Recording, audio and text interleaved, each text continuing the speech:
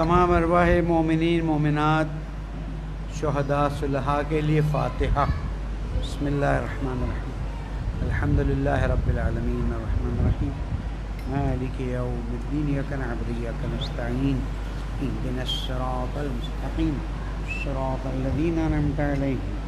गैरिल मग़दूबि अलैहिम वलद्दाल्लीन बिस्मिल्लाहिर रहमानिर रहीम कुल हु नीचे से टाइट करें। कुल हुवल्लाहु अहद अल्लाहु समद लम यलिद वलम यूलद वलम यकुल लहु कुफुवन अहद बिस्मिल्लाहिर रहमानिर रहीम कुल हुवल्लाहु अहद अल्लाहु समद लम यलिद वलम यूलद वलम यकुल लहु कुफुवन अहद बिस्मिल्लाहिर रहमानिर रहीम कुल हुवल्लाहु अहद अल्लाहु समद लम यलिद वलम यूलद वलम यकुल लहु कुफुवन अहद नहीं, इस प्लेट को घुमा घुमा लेंगे तो स्टैंड खड़ा हो जाएगा। नया स्टैंड है कैसे हिलजुल करता है? प्लेट को नीचे से घुमाएँ। ये नहीं ये ढीला हुआ है। जल्दी यार। नहीं नहीं लीजिए कि प्लेट को टाइट कर दोगे तो प्लेट सही है। आपको लगा नहीं चाहिए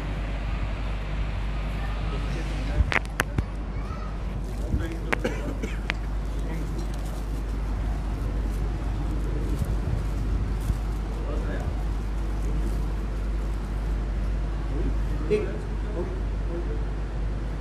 सर मोहम्मद वाले मोहम्मद सल्लल्लाहु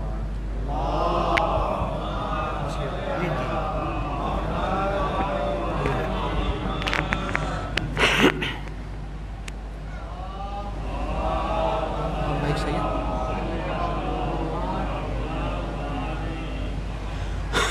ला हौल वला क़ुव्वत इल्ला बिल्लाहिल अलील अज़ीम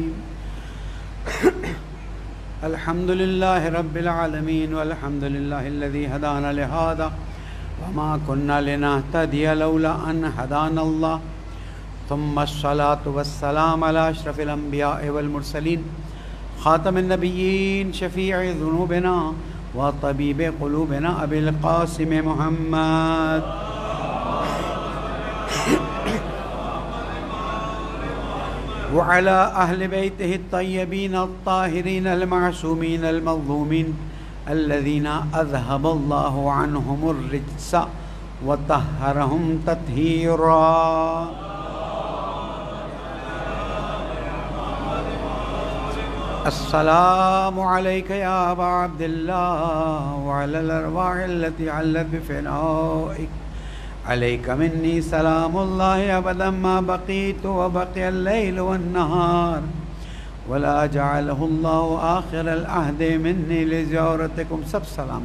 करें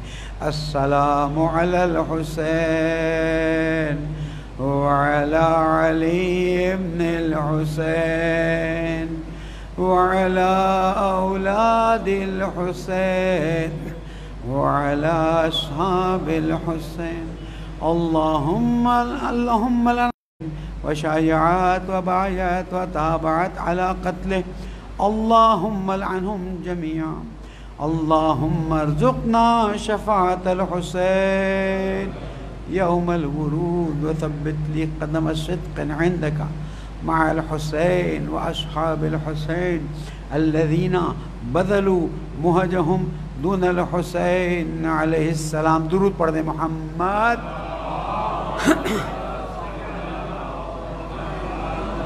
अल्लाकीम फ़ी किताबिलमुबीन बसमीम व अनमन्नादीनफ़िलअ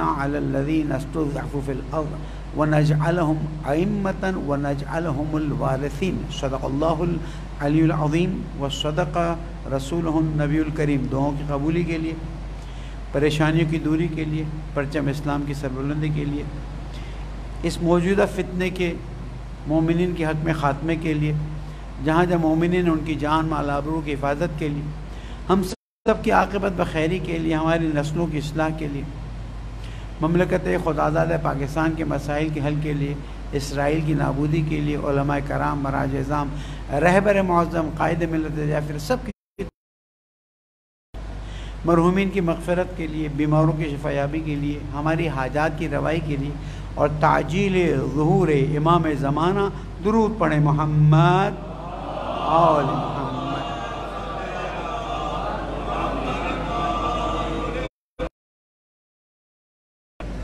गुफ्तु ज़मान गैबत और हमारी ज़मीन में मौजूद जो गलत फहमियाँ हैं, जो कन्फ्यूज़न हैं, क्योंकि मेरी बहुत सी बातें ऐसी होंगी जिसकी वजह से गलत फहमी बढ़ेगी। बाज़ मरतबा मैं चाहता हूँ कि गलत फहमी बढ़े, ताकि जहन हिलें। इसलिए कि वो एक अंग्रेज़ लिखने वाला है, बहुत अच्छा लिखता है, उसका नाम है एडवर्ड डी बोनो। नौजवानों से कहूँगा कि नेट पे उसकी किताब सर्च करके ना, तब्दीली लाता रहे। उसकी छोटी सी मिसाल ये ये जो हम कांटे वाली सुइयों वाली घड़ी पहनते हैं ना, वो कहते हैं कुछ दिनों के लिए आप घड़ी उल्टी पहन लें।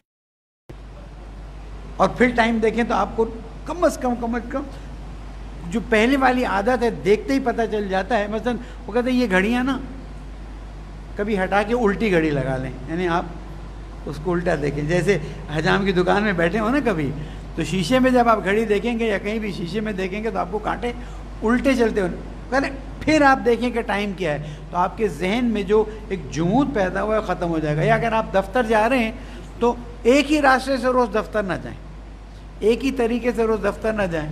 अब हमारी तो मजबूरी हमारा रास्ता ही एक होता है, तरीका ही एक होता है, हम अलग अलग नहीं कर सकते। लेकिन उसका कहना ये है कि अगर इंसान को अपने अंदर खलाकियत लानी है और इंसान को अपने अंदर जो सलाहियतें हैं, उसे निकालना है तो उसे अपने अतराफ़ की चीज़ों को टाइम टू टाइम चेंज करते रहना चाहिए, ताकि उसका जहन जो है वो जमूद का शिकार ना हो जाए। तो कभी कभार हम गुफ्तु में भी ऐसी बात कर जाते हैं कि बाद में आप सोचें कि, अरे, ये कैसे कह दिया मौलाना? फिर हमें फ़ोन भी आते हैं मैसेज भी आते हैं तो अंदाज़ा होता है कि, चलें, सब नहीं तो कुछ उस जगह पहुँच गए जहाँ हम पहुंचाना चाहते थे। दुरुद पढ़ दे मोहम्मद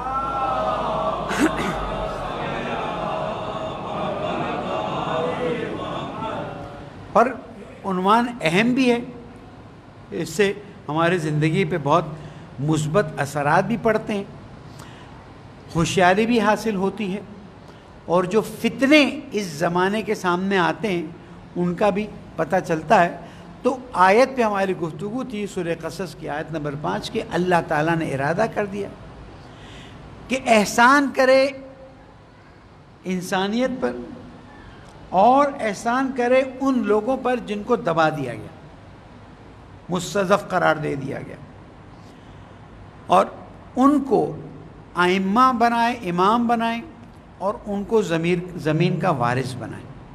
अच्छा खूबी की बात यह है कि कुरान मजीद में जब इन आयत को हम देखते हैं तो इस आयत के बाद, आयत नंबर छः क्या है? वह नमक्न फ़िल अर्ज़ व नोरया फ़िरौना व हामाना व जुनूदहुमा मिन माकानू या यानी आयत इस तरह से व नूरीद नमुन्नादीन फ़िलत व नजालम अमतन व नजालम व नजालमवारसिन ये तो मैंने तर्जुमा कर दिया। उसके बाद क्या है? और हम नमक्न फ़िल अर्ज़े, उनको ज़मीन पर तमकीन देंगे, इख्तियार देंगे। जैसे इस वक्त एक बहुत पे, जब तक बिजली आ रही है, या जब तक उसका मूड अच्छा है। बस मिसाल दे रहा हूँ, टोंट नहीं कर रहा। जैसे ही बिजली गई, या जैसे ही कुछ सिस्टम में ख़राबी है, मेरा इख्तियार मेरी आवाज़ को पहुँचाने का बंद हो जाता है और मुश्किल खड़ी हो जाती है। तो अल्लाह ताला फरमाए नुमक्न लहूम, मैं उनको ज़मीन का इख्तियार दूँगा। यानी जब अल्लाह ताला किसी को ज़मीन का इख्तियार दे दे तो फिर उसे किसी किस्म की परेशानी का सामना नहीं करना है कि बिजली चली जाएगी तो क्या होगा? साउंड सिस्टम ख़राब हो जाएगा तो नहीं। वह नुमक्न लहूम तमकीन देंगे, इख्तियार देंगे, फिल अर्ज़े, ज़मीन पर। अच्छा जब ज़मीन का लफ्ज़ यहाँ पर दिया जाता है, इससे मुराद हर वो जगह है जहाँ इंसान ज़िंदगी कर सकेगा। इस नुक्ते को ज़रूर याद रखें। अगर हम सिर्फ़ ये कह दें कि इसी ज़मीन पर देगा इख्तियार तो उनका इख्तियार कामिल नहीं होगा। क्योंकि देने वाला इख्तियार कामिल रखता है और इख्तियार दे रहा है तो अब सिर्फ़ इस ज़मीन पर इख्तियार नहीं देगा। ऐन मुमकिन है कुछ सालों बाद इस ज़मीन पर वो ताकूती ताकतें कंट्रोल कर लें जिसका आप तस्वुर भी नहीं कर सकते। जो 50, 60, 70 परसेंट अभी तक हमें कंट्रोल कर चुकी हैं। मैं कहाँ जा रहा हूँ? मैं किससे बात कर रहा हूँ? मैं क्या कर रहा हूँ? किस तरह कर रहा हूँ, ये सब कोई चीज़ छुपी हुई नहीं। लेकिन अभी भी हम महसूस करते हैं कि थोड़े आज़ाद हैं। एन मुमकिन है कि ये जो ताकतें यहाँ पर मौजूद हैं, यानी इनको कंट्रोल कर रही हैं, ये पूरी तरह से ज़मीन को कंट्रोल कर लें। मुमकिन तो है ना? वहाँ पर भी अल्लाह ताला ने ये नहीं कहा कि हमने इमाम को, एक इमाम को, हमने सबको तो यहाँ पर भी ये शैतानी ताकत भी हमें कंट्रोल कर सकती है और ज़मीन पे कंट्रोल कर लेगी। तो फिर तो अल्लाह दे ना दे, इंसान ने कंट्रोल कर दिया तो बड़ी बात क्या हुई? थोड़ा सा जहन को हिलाइए। मेरी बात तवज्जो से जहन में आ रही ना? कि अगर इस वक्त हम कहें कि कुछ ताकतें जो हमें तकरीबन एक हद तक कंट्रोल कर चुकी हैं, हमारी हर चीज़ उन तक जा रही है। यानी जो भी हम इस्तेमाल कर रहे हैं वो पहले उन ताकतों तक जाती फिर हमारे पास आती। खुद हमारे पास रहता नहीं है। तो एक वक्त एम मुमकिन है कि वो हमें पूरा कंट्रोल करें जैसे कि आजकल थियरी आई हुई है और आप अखबार और मीडिया में देखते ही रहते हैं और वो थियरी है कि अब जो कोरोना वायरस का वैक्सीन आएगा वो असल में वैक्सीन वैक्सीन नहीं है वो असल में एक कैप्सूल है या एक वो आईसी है जो इंजेक्ट कर दिया जाएगा जो आ, मेरे ख्याल में यूरोप के किसी मुल्क में लोगों ने स्वीडन में या कहीं इंजेक्ट करवा दिया है। अब उसी के ज़रिए वो अपनी सब चीज़ें कंट्रोल भी कर लेते हैं, सब चला लेते हैं और पीछे भी उसके ज़रिए कंट्रोल हो रहे हैं। तो इम्कान है या नहीं? हाँ ना कह दीजिए। इम्कान तो है ना कि भाई ये सब चीज़ों पे कंट्रोल कर लें। तो अगर इस ज़मीन की इन सारी चीज़ों पर कंट्रोल कर लें तो इसका मतलब है एक कंट्रोल तो आया ना। तो अल्लाह ताला यहाँ फरमा रहे वनुमकिन लहम फिल अर्दे हम उनको ज़मीन पे कंट्रोल देंगे। तो अल्लाह, इनका कंट्रोल उनका कंट्रोल एक जैसा ही हो जाएगा। तो अल्लाह का जवाब आएगा, उनका कंट्रोल टेम्प्रेरी है, मेरा कंट्रोल परमानेंट है। एक फ़र्क है। उनका कंट्रोल इसलिए कि उन्होंने मेहनत की, कोशिश की, और मैंने कहा है, वह अल्लाह इंसान इंसान जिस चीज़ की कोशिश करता है, उसे वो चीज़ मिल जाती है। हम सुस्तियाँ करते रहें, हम आपस की लड़ाइयाँ करते रहें। उसके बाद कहें, अल्लाह उसको दे दिया, हमें नहीं दिया। तो अल्लाह ताला कहता है कि जो कोशिश करेगा, हम उसको दे देंगे। उसमें हम फिर रोक के नहीं रखते। आप कोशिश कीजिए, आपको मिल जाएगा। लेकिन असल डिफरेंस ये है कि इन लोगों का कंट्रोल टेम्प्ररी होने के साथ साथ लिमिटेड भी है। जब अल्लाह चाहे बिजली बंद कर दे, जैसे मेरे इस माइक पे कंट्रोल कि जहाँ बिजली गई माइक मेरे हाथ से गया। जहाँ सिस्टम ख़राब हो। लेकिन जब आयम मासूमीन सलाम के हाथ में अल्लाह सुबहान ताला इस ज़मीन के कंट्रोल को देगा तो वहाँ पर फिर टेम्प्रेरी कंट्रोल नहीं है, फिर वो परमानेंट कंट्रोल है। यहाँ तक बात समझ आई? या कम से कम सुन लिया आपने तो दुरूद पढ़ दे, मोहम्मद वाले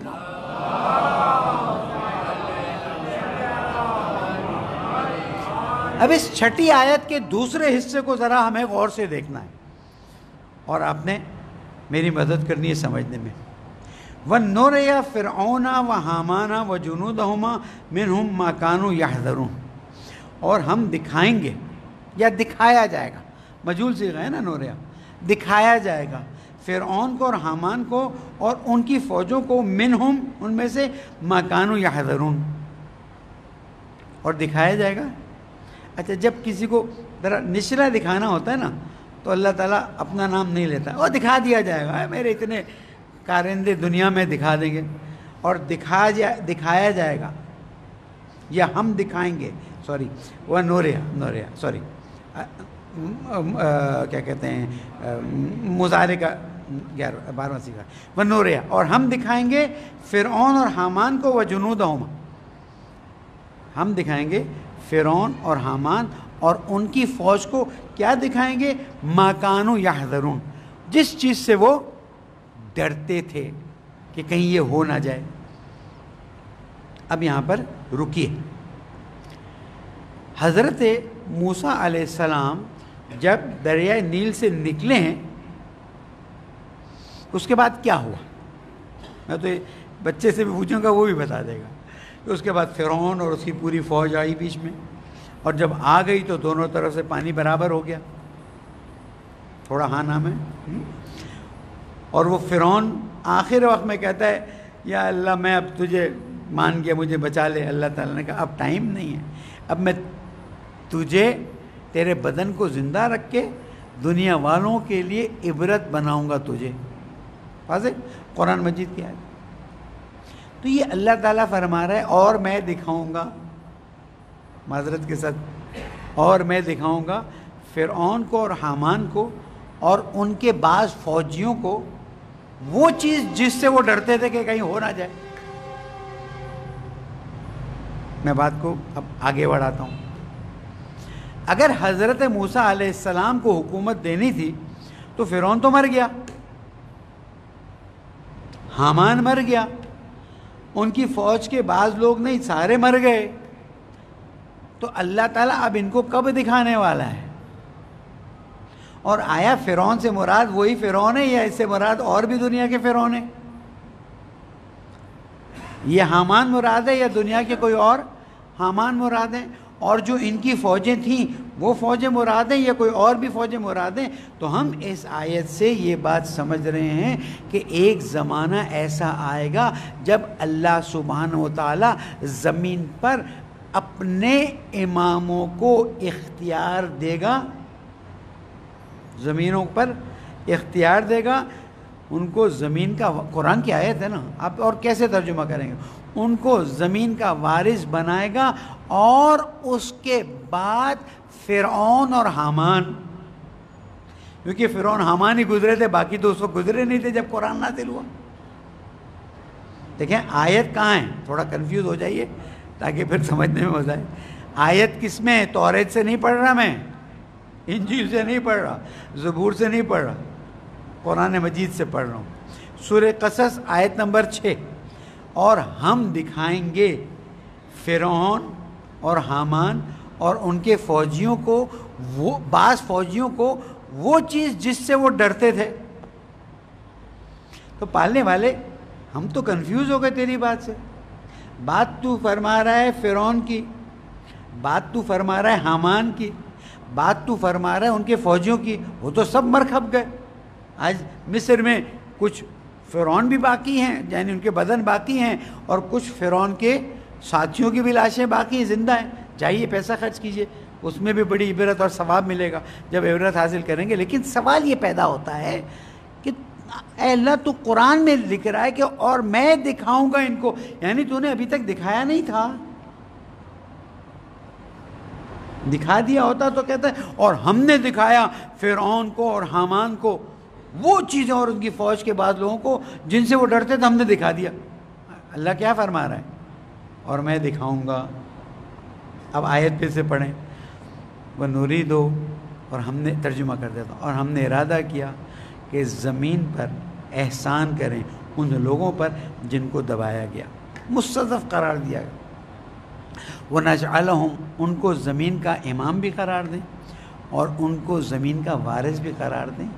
और उनको ज़मीन पर इख्तियार भी दे दें और हम दिखाएँ फ़िरौन और हामान को और उनके बाद फौजियों को वो चीज़ जिससे वो डरते थे। अब दो दो आयतें मिल गई। ठीक? अब सवाल ये पैदा होता है, अगर ये बात सिर्फ़ हज़रत मूसा आसमाम के ज़माने की है तो कहीं भी हज़रत मूसा आसमाम के फिर से आने का वादा नहीं है।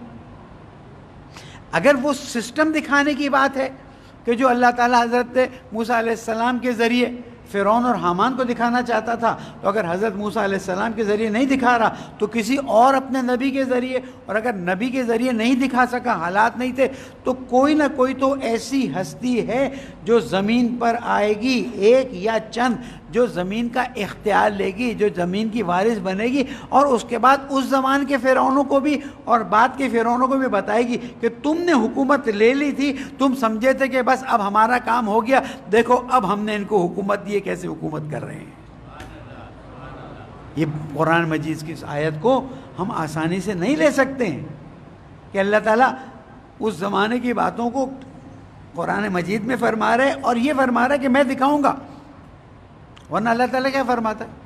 मैंने ये कर दिखाया, मैंने ये दिखाया, तारीख़ में ये हुआ, सुलेमान को मैंने फ़ौज दी, हज़रत यूसुफ़ अलैहिस्सलाम को ख्वाब की ताबीर दी मसला अलग अलग चीज़ें, लेकिन यहाँ पर अल्लाह ताला बता रहा है, इससे पता चल रहा है, यकीनी तौर पर कि ज़मीन में वारिस हज़रत मूसा हो, हज़रत इब्राहिम हो, हज़रत मोहम्मद मुस्तफ़ा सल्लल्लाहु अलैहि वसल्लम कतई तौर पर इख्तियार हासिल करेंगे और ये हमारी इमामत के अकीदे का लाजमी जुज़ है कि अल्लाह सुबहान ताला ने उनको इख्तियार दिया हुआ है। अब वो इख्तियार कब इजरा होगा, इसके लिए हमें सोचना पड़ेगा। तारीख़ देखनी पड़ेगी, कुरान देखना पड़ेगा, हदीसें देखनी पड़ेगी, और इसीलिए रसूल अकरम मोहम्मद मुस्तफ़ा सल्लल्लाहु अलैहि वसल्लम ने फरमाया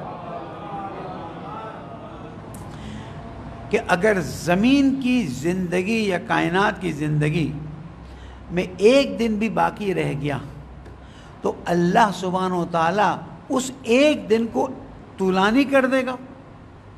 और इतना तूलानी करेगा कि मेरा वारिस आएगा ज़मीन पर, अल्लाह के अहकाम के ज़रिए हुकूमत और फिर उन लोगों को दिखाया जाएगा जो समझते थे कि अल्लाह के अहकाम कोई चला नहीं सकता है, कि इंसानियत अल्लाह के अहकाम को कबूल करेगी और सामने तस्लीम हो जाएगी। उस वक्त इंसान को डंडा, शमशीर, तलवार के ज़रिए इस्लाम में दाखिल नहीं किया जाएगा, बल्कि उनके सामने इस्लाम की इतनी खूबसूरत तस्वीर पेश की जाएगी कि वो ख़ुद तस्लीम हो जाएँगे। वो ख़ुद कबूल कर लेंगे, वो ख़ुद झुक जाएँगे और यही वो चीज़ है जो अल्लाह ताला साबित करना चाहता है कि अगर खिलाफत मौलाए कायनात को उस तरह से आगे बढ़ाते, जिस तरह से अल्लाह ताला ने किया तो ये काम उस वक्त हो जाता। और कीजिएगा मेरी बात में।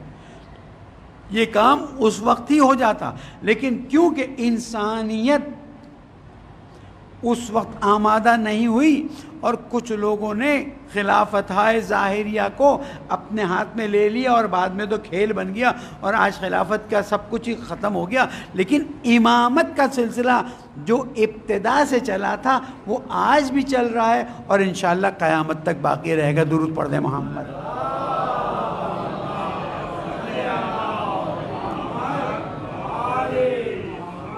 बाज़ मतलब कहते हैं कि किसी चीज़ की हक्कानियत को देखना है तो देखो उसके मुकाबले में क्या चल रहा है। अगर एक चीज़ का हक ही नहीं है,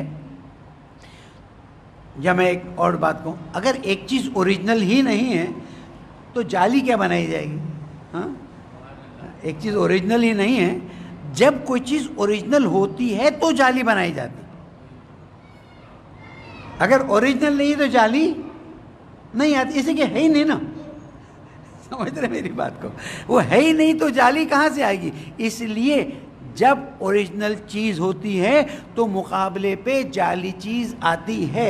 हम देखते हैं जहाँ जहाँ हमारी ओरिजिनल चीज़ें थी, उनके मुकाबले में जाली चीज़ें आती रहीं और वो जाली चीज़ें साबित करती रहीं कि ओरिजिनल के मुकाबले में आए हैं। अब ये तुम पर है कि ओरिजिनल को कबूल करना है तो ओरिजिनल कबूल कर लो, जाली को कबूल करना है तो जाली को कबूल कर लो। इसलिए कि चीज़ें दोनों एक जैसी लगती हैं।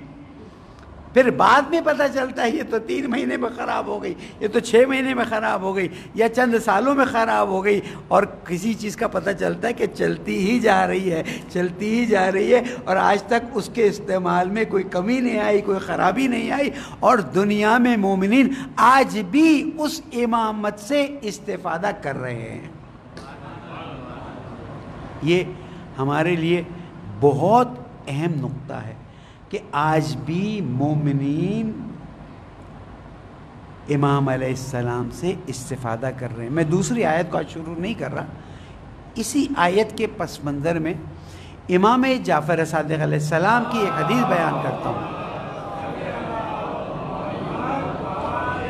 इमाम सलाम ने, जैसे मैंने उस दिन गिरिया वाली बात आपको बताई थी वो ये है कि इमाम सलाम ने जब क्योंकि छठे इमाम से तैयारियाँ शुरू हो गई जब अपने असाब को ये बात बताई कि वो गैबत में होंगे हदीसें मौजूद हैं कोई कोई परेशानी की बात नहीं। आ, मैं कल आपको आ, अगर अल्लाह ने तौफीक दी तो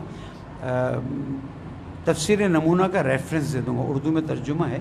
ये किताबें थोड़ी थोड़ी रखें हैं, इसलिए कि मोबाइल पे नहीं पढ़ी जा सकती। किताबें आपको अपने पास रखनी होंगी। तो तफसर नमूना में जो इमाम ज़माना से मुतल सुर तोबा में एक पूरा तफसील है, वो कल मैं आपको रेफरेंस दे दूँगा। इस वक्त उसका वॉल्यूम और पेज नंबर मुझे याद नहीं है। कल याद कीजिएगा सजा तो हम इसको रेफरेंस दे देंगे। आप देखिएगा। इमाम ने फरमाया है कि गैबत का ज़माना इस इस तरह से होगा और जहूर का ज़माना इस इस तरह से होगा। तो सवाल करने वाले ने सवाल किया कि अगर इमाम गायब होंगे, इमाम नज़रों से ओझल होंगे तो ये बताइए लोग फिर उनसे फ़ायदा कैसे उठा सकते सवाल तो अच्छा है ना? कि अगर इमाम नज़रों से ओझल हैं। इस वक्त गैबत तीन किस्म की है। एक गैबत मुतलक है, गायब मुतलक है, वो अल्लाह ताला की ज़ात ज़रा बच्चों को कही कि थोड़ा सा आराम से बैठ जाएँ, फिर इस तरह से। मजलिस का अदब जो है वो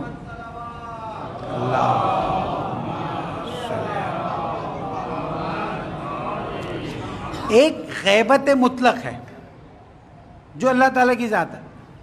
अल्लदीना यूमिनून बिलगैब व यकीमून सलात व मम्मा रजकना हूँ जो गैब पर ईमान लाते हैं, वो गैब मुतलक अल्लाह ताला की ज़ात है। कि उसमें किसी किस्म के जहूर का कोई इम्कान नहीं है। अगर ज़ाहिर भी अगर कुछ है तो वो आसार ज़ाहिर है।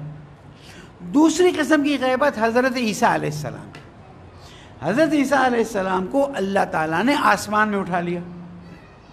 और आसमान में उठाने के बाद किसी एक जगह पर क़्याम करवा दिया। जब इमाम तशरीफ़ लाएँगे तो हज़रत ईसा आसमाम भी आसमान से ज़मीन पर आएँगे और इमाम आसमाम के पीछे नमाज़ पढ़ेंगे। ये एक तारीख़ी हकीकत है, हदीस में, रिवायत में सब कुछ मिला हुआ है। तो अपनी जगह पर। लेकिन हमारे इमाम आसमाम की गैबत जो है, वो ना अल्लाह की गैबत मुतलक जैसी है, वो तो लामकान है।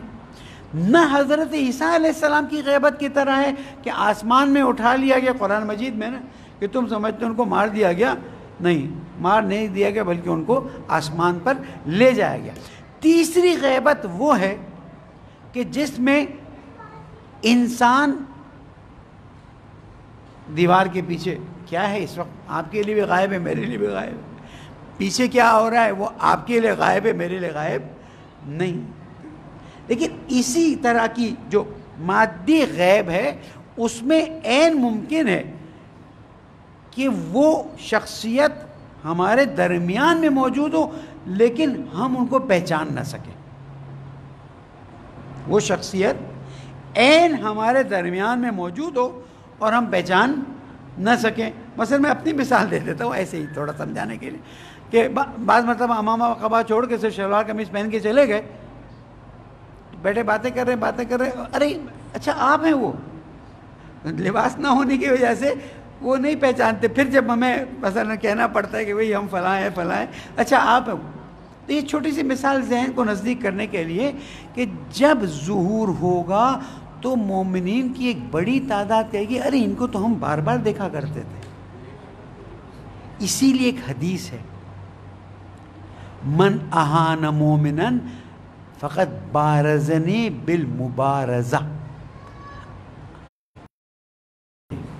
कि जिसने किसी मोमिन को जलील किया, उसने अल्लाह से जंग का ऐलान कर दिया।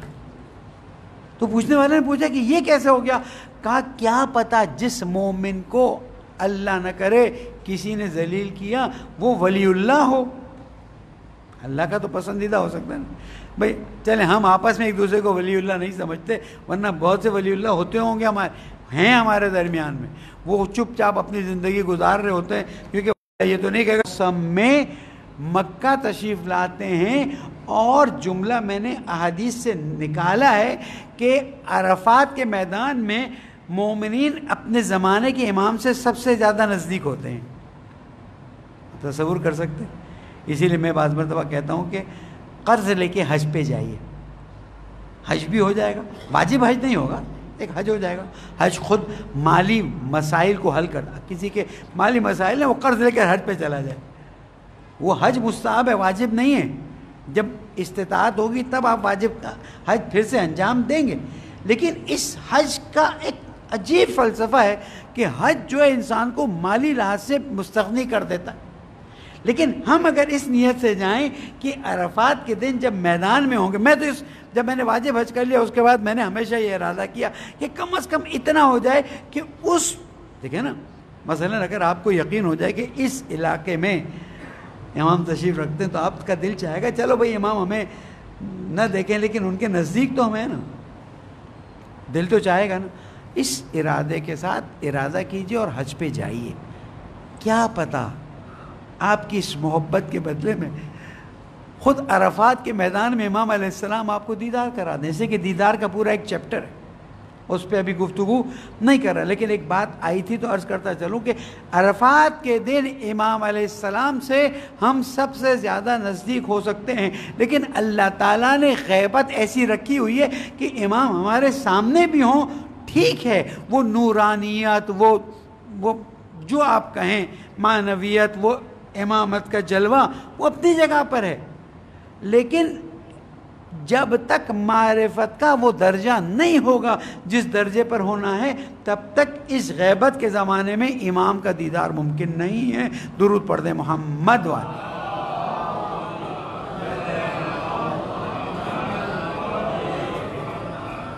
तो छठे इमाम सलाम ने जब फरमाया, गैबत के ज़माने में इमाम लोगों के दरमियान में होंगे, यानी ये गैबत होगी, और लोग इमाम से इस्तेफादा कर सकेंगे।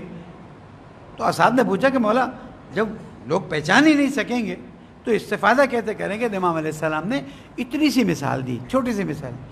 कहा, जब बादल आते हैं तो सूरज होता है कि नहीं होता है?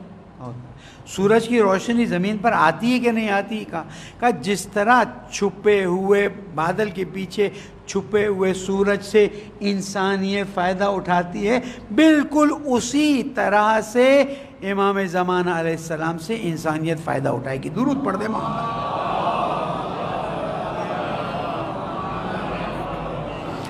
अच्छा इसकी मिसाल है, बहुत अच्छी मिसाल। हज़रत यूसुफ अलैहिस्सलाम अल्लाह ताला के नबी थे कि नहीं थे? हाँ? थे ना? क्योंकि हमारा अकीदा चले, मैं बाहर नहीं जाता। हमारा अकीदा, ये सारे अनवार इलाहिया उस वक्त अल्लाह ताला ने अपने नूर से खल्क कर दिए थे, जब कायनात को खल्क नहीं किया था, जब हती हज़रत आदम भी खल्क नहीं हुए थे। ये अपनी जगह पर हमारे एक अकीदे का मसला है, और हम अपने अकीदे से पीछे हटने वाले हैं नहीं। जो कहें, आप अपना अकीदे पर रहें, हमें अपने अकीदे पर रहने दें। ना हम अपना अकीदा आप पे ठोसन है, ना आप अपना अकीदा हम पे ठोसन तो हज़रत यूसुफ पैदाइश से नबी थे। हज़रत इब्राहिम अलैहिस्सलाम पैदाइश से नबी थे। तमाम अम्बिया कोई नबी ऐसा नहीं है कि जिनको 20 साल 30 साल 40 साल पे जाके कहो कि भाई, चलो चलो, तुम नबी बन रहे हो। हमारे यहाँ ऐसा कोई सिलसिला नहीं। हमारे यहाँ विलादत से पहले से नबूत उनके लिए मौजूद है और उनकी विलादत का सिलसिला भी उसी तरह से चलता है जिस तरह अल्लाह चाहता है।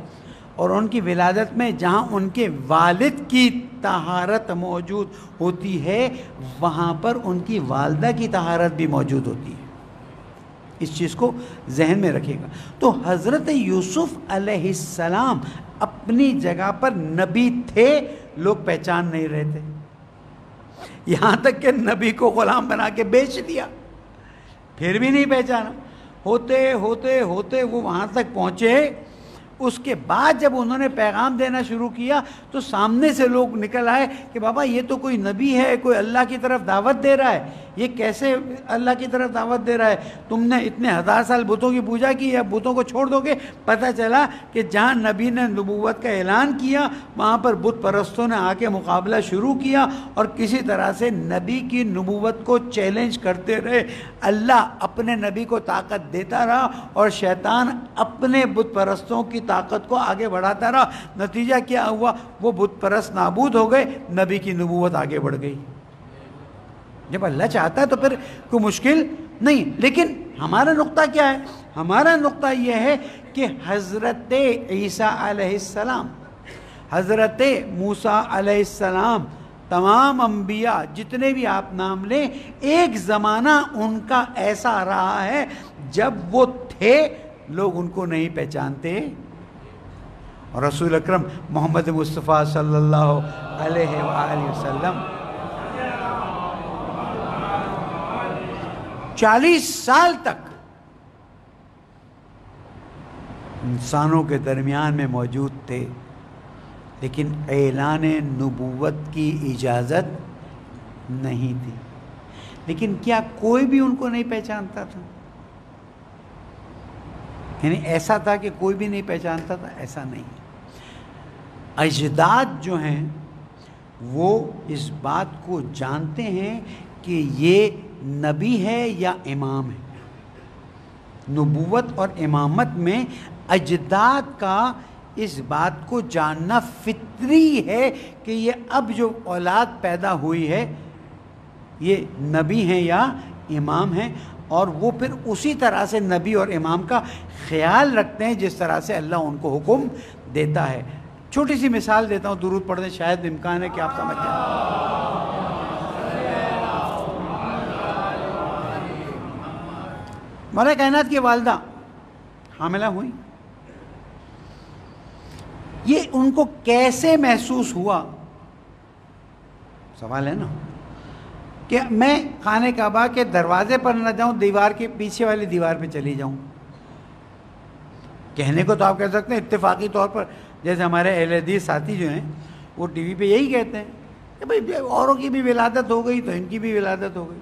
या हमारे एल सुन्नत बरेलवी हजरात का अकीदा ये कि वो पूरा पूरा एरिया ही खाने काबा कहलाता था।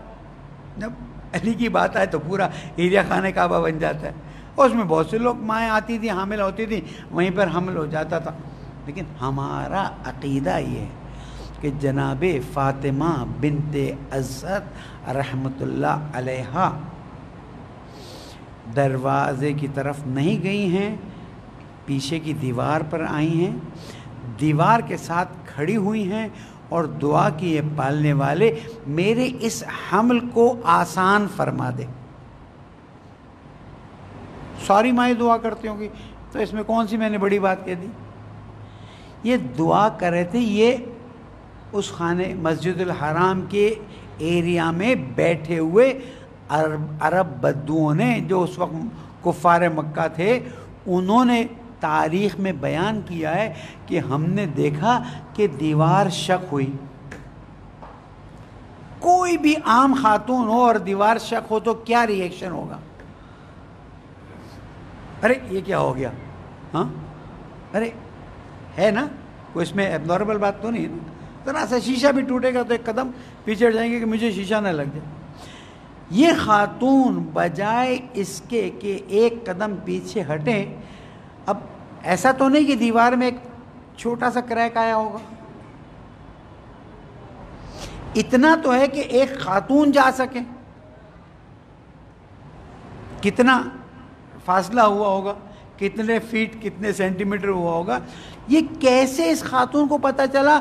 इसलिए कि इमाम की माँ इन मसाइल को खुद दर्क करती हैं, चाहे वो हमल उनको गाइड करे, चाहे किसी और डायरेक्शन से कोई नया बाप मेरी गुफ्तु से न खुल जाए गाइडेंस आती है। और जहाँ मौला कायनात की बात है, वहाँ उनकी वालदा, वो लिखते हैं अरब, उनको क्या था? वो कह देते, भाई, डर के भाग गई। वो ज़रा भी एक कदम भी पीछे नहीं हटी, दीवार खोली, अंदर गई, दीवार बंद हो गई, और हम सब हैरान थे कि ये हुआ क्या है? पहले तो हम समझे कि हमारी आँखों को धोखा हुआ है। लेकिन फिर हमने देखा, नहीं भाई, तुमने ये देखा कहाँ? तुमने देखा हाँ। तो ये क्या हुआ? अंदर चली गई। तीन दिन तक एक खातून। दीवार शक होने के बाद खाने काबा, जो सियाह बिल्डिंग कपड़े के साथ है, उसके अंदर रहती हैं। और उसके बाद रसूल अकरम दरवाज़ा खोलते हैं। दरवाज़ा खोलने के बाद मौला कायनात को हाथ में लेते हैं और उस वक्त मौला कायनात आँख खोलते हैं। दुरुद पढ़ते हैं मोहम्मद वाले।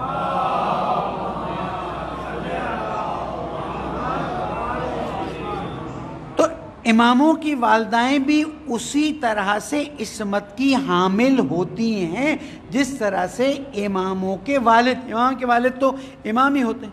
तो बार में इमाम अलैहिस्सलाम की वालदा भी उसी तरह से, जिसका पूरा किस्सा इंशाल्लाह जिनका आएगा, उसी तरह से अपने इस फर्जन के बारे में जानती थी और ग्यारहवें इमाम अलैहिस्सलाम जानते थे, बाकी कोई नहीं जानता और जब विलादत की रात आई, जिस रात आप इतनी खुशियाँ मनाते हैं, दुआ करते हैं, अरीज़ा लिखते हैं, पता नहीं दिल की जितनी है वो सब लिख के भेज देते हैं, वो इसलिए कि वैसे तो उस रात लिखा है, आप जब चाहें अपने दिल की बात लिख के इमाम को भेज दें। कहीं पंद्रह शाबान की रात मुन नहीं है अरीज़ा लिखने की। लेकिन उस रात को अल्लाह ताला की ख़ास इनायत रहती है और इमाम सलाम की विलादत की बरकत से अल्लाह सुबहान ताला ने मोमिन के लिए रखा हुआ है कि इमाम के वास्ते से दुआ मांगें, इमाम के वास्ते से हाजत मांगें ताकि उनकी हाजतें कबूल हों और ईमान ज़्यादा होता रहे। जब आप उस अरीज़े में लिखते हैं ना, मौला मुझे ये तकलीफ़, मुझे ये एक तकलीफ़, मुझे। तो वो अरीज़ा आपकी तरफ़ से एक ख़त बनता है इमाम की खिदमत और ज़मीन का इख्तियार इमाम के हाथ में है, मौजूद है। इमाम सलाम वो वसूल करते हैं। अब तरीक़ेकार अलग अलग हैं। कोई किसी तरह लिखता है, कोई किसी तरह लिखता है। तो मैं ये अर्ज़ करना चाह रहा था कि अल्लाह ताला ने निज़ाम इमामत को रखा है, जो एक वक्त इमाम ज़ाहिर होंगे और जब इमाम सलाम ज़ाहिर होंगे, उस वक्त पता चलेगा कि ये शख्सियत हमारे दरमियान में रही है। अब तकरीबन तेरह सौ नब्बे साल या कितने साल गुज़र चुके हैं, लेकिन हदीस में और रवायत में हमें बात मिलती है कि ज़माने का असर इमाम के बदन पर नहीं होता है और इमाम उसी हालत में रहते हैं जिस हालत में एक ख़ास जवानी का उनसुर बयान किया गया है। तो हम यहाँ पर अपनी गुफ्तु को इस नतीजे तक पहुँचाते हैं और आज हम पहला कदम पूरा करते हैं कि इमाम सलाम अभी भी इसी ज़मीन पर, इसी ज़मीन की हुकूमत को इसी ज़मीन के इख्तियार को अपने हाथ में रखे हुए हैं। अब ये मोमिन पर है कि इमाम से कितना रबता रखते हैं? शब जुमा है ना? आज हम में से कितने लोग इमाम को याद रखेंगे? जुमे का दिन है, कितने लोग याद रखेंगे? अब दुनिया की मसरूफियात बहुत ज़्यादा हैं तो जब मुश्किल आती हैं, तब मसरूफियात नहीं होती हैं। मुश्किल आती हैं तो मसरूफियात ख़त्म हो जाती है, नहीं, ख़त्म नहीं होती। लेकिन अब प्रायोरिटी हो जाती है तो फिर इमाम को याद करो, दुआ करो, मन्नतें करो। मैं एक पैगाम देता हूँ, और वो पैगाम ये है कि आप ज़माने के इमाम से गुफ्तु करें। उनको सुबह उठें, सलाम करें। दिन में कई मरतब यानी ज़रूरी है कि कोई मुश्किल हो तो ही आप उनको याद करें, और जब तक मुश्किल नहीं, आप उनको याद ना करें। ये ऐब है, कुरान मजीद में भी अल्लाह ताला इस बात को बयान फरमाता है कि जब इनकी किश्तियाँ आराम से चल रही होती हैं तो ये मज़े से अपने जा रहे होते हैं। जहाँ किश्ती हजकोले खाने शुरू करती है, हमें याद करना शुरू करते इतने खुलूस से याद करते हैं, जैसे हमारे अलावा किसी और को याद ही नहीं करते। और जब किश्ती पहुँच जाती है तो ऐसे भूल जाते हैं जैसे कोई अल्लाह था ही नहीं। अहल बैत के चाहने वालों को ये बात जेब नहीं देती है कि जब मुश्किल आए तब याद करें। तब तो याद करें ही करें, लेकिन जब मुश्किल ना हो नेमतों की फरावानी हो, सेहत हो, सलामती हो, बच्चों के रिश्ते आ रहे हों, औलादें सरी सालिम पैदा हो रही हों, उस वक्त इमाम को याद करते रहिए। नतीजा ये होगा कि जब मुश्किल वक्त आएगा ना तो इमाम तो देख ही रहे होंगे कि मेरा चाहने वाला अपने अच्छे हालात में मुझे याद करता था। चलो, अब ये तकलीफ़ों में पहुँचा है तो मैं इसकी मदद कर और ये अगर आपने सिस्टम जारी कर दिया तो यकीन कीजिए कि इमाम अलैहिस्सलाम हर मुश्किल में आपका साथ दें हर परेशानी में आपका साथ देंगे। और इजतमाही तो साथ है ही है। मैंने कई मिसालें दी इजतमाही साथ है, लेकिन लेते नहीं है, मांगते नहीं है। तड़प नहीं है हमारे अंदर। ठीक है ना? जिसके दिल में जितनी तड़प होती है, उतना ही उसे वो मिल जाता है। आप महसूस करें कि आपके दिल में तड़प नहीं है, उस तड़प को पैदा करें। दुआ पढ़ें, जुमे के दिन दुआ नुतबा पढ़ें, दुआ दर गैबत इमाम ज़माना। आप पढ़ नहीं सकते यूट्यूब पे दुआ लगा लीजिए। अबू ज़र हलवाजी की इतनी खूबसूरत आवाज़ में दुआ है, किसी मोमिन ने ट्रांसलेशन भी लगा दिया है। सुनते जाइए, पढ़ते जाइए। इससे कि दुनिया तो चलती रहेगी आज कमाने के चक्कर में अगर इतना ज़्यादा टाइम लगा दिया कि इमाम को याद नहीं किया तो कल जब मुश्किल आएगी और इमाम को याद करना पड़ेगा तो कम अज़ कम थोड़ी शर्मिंदगी ज़रूर महसूस होगी। और इसीलिए हम देखते हैं कि जब करबला वालों पे मुसीबत आई थी, मुश्किल, इमाम अलैहिस्सलाम ने अपने एक ऐसे साथी को याद किया था कि जो इमाम से राब था। दूसरी बात वही है कि हर मज़ाहिर इमाम हुसैन सलाम के साथ रबते में रहे हैं।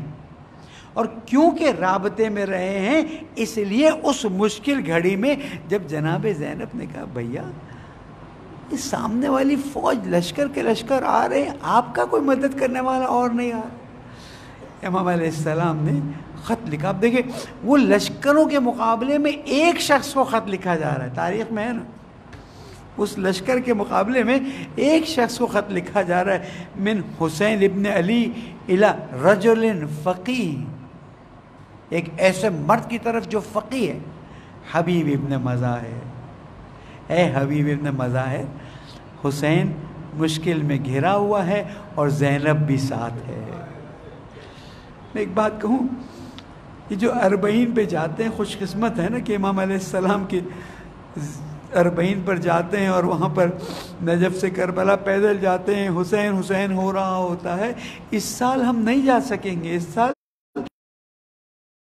वहाँ से नोटिस जारी हुआ क्रिया करते करते आप ना जाए, दुआ करें। इसलिए कि अरबईन की मशी जो है, ये एक मुजज़ा है हमारे ज़माने में। और मैं समझता हूँ कि अगर अरबईन के इस मुजज़े को जारी रखें और इन लोग हिम्मत करते रहें, कुछ उसमें चीज़ें जिनको सीधा करना है तो करबला की याद दुनिया भर में बार बार ज़िंदा होती रहेगी।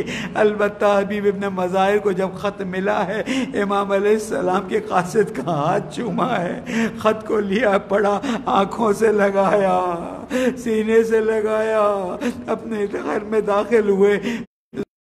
हबीब हबीब की कासिद किस अली का कासिद था तो फिर क्या लिखा हुआ है? कहा, वो मदद के लिए बुलाया है। कहा, हबीब, तुमने क्या सोचा है? कहा, मैं बूढ़ा हो गया हूँ, क्या सोचूं, बताओ? कहा, हबीब, अगर तुमको नहीं जाना तो मत जाओ। मैं चली जाती हूँ, चादर उठाई और कहा, हबीब, मुझे ख़त दे दो। मैं जाती हूँ इमाम सलाम की नुसरत के लिए।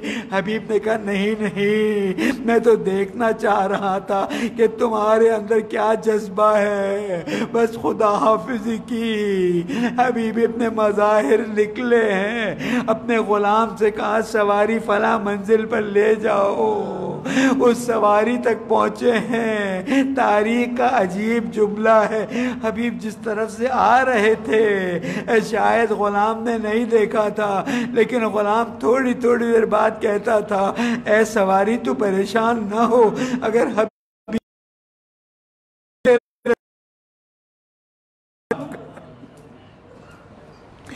भी अपने मज़ा अपने गुलाम को बोसा दिया। गुलाम से खुदा हाफिजी की। अब तारीख नहीं बताती कि इतनी बड़ी फौज होने के बावजूद, रास्ते बंद होने के बावजूद हबीब अपने मज़ाहिर कैसे पहुँचे हैं? लेकिन जब पहुँचे हैं तो मेरे मौला ने कहा अब्बास अब्बास आओ मिलके हबीब का इस्तेकबाल करते हैं। यानी क्या वक्त आ गया? रसूल के नवासे पर के अब हबीब इतने मजाहिर जैसे गुलाम का इस्तकबाल करने जा रहे हैं। इस्तकबाल किया। हबीब उतरे। सलाम से सलाम दो कदम आगे बढ़े थे। कनीज आका। हबीब इतने मजाहिर को जनाब जैनब का सलाम देते। अल्लाह अकबर इमाम ने फरमाया तुम खुद पैगाम दे दो कनीज ने कहा है हबीब जैनब आप पर सलाम भेज रही है नहीं मालूम हबीब खड़े रह सके ज़मीन पर बैठ गए सर पीटने लगे अब मामा गिरा दिया आए वो जमाना आ गया जब सैदानिया रसूल की नवासी गुलामों को सलाम भेजे अल्लाह अकबर रोज आशूर आया हबीब इब्न मजाहिर जब जंग के लिए गए हैं सिन ज़्यादा था कपड़ा बांधा भवे ऊपर की जंग करने के लिए गए। एक अजब रजस पड़ा। अना हबीब इब्न मजाहिर। मैं हबीब इब्न मजाहिर हूँ। मैं रसूल के नवासे का दिफा करने आया हूँ। मत समझना मैं बूढ़ा हूँ। मैं जवानों का जवान हूँ। हबीब ने हमला किया। लड़ते लड़ते एक वक्त सवारी से नीचे उतरे हैं। आका को सलाम किया। आका के साथ कुछ और असाब भी दौड़े। इमाम को जार की जियारत की। अपने साथी को बुलाया का एक वसीयत कर रहा हूँ, एक नसीहत कर रहा हूँ, एक तकाजा है मेरा, पूरा कर लो। कहा, क्या? कहा, अलैकुम बेहाजर रजुल, इस आका का ख्याल रखना है अभी आखिरी वक्त में भी इतना ख्याल रखना था। आए काश, असर आशूर करबला में ही ज़िंदा होते, अपने आका का हाल देखते। सवारी से नीचे आए हैं, लेकिन ज़मीन पर नहीं पहुँचे हैं। तीरों पर लाशा मुअल्लक हो गया। जनाब जहरा ने संभाल लिया होगा। अला लानतुल्लाहि अलल कौम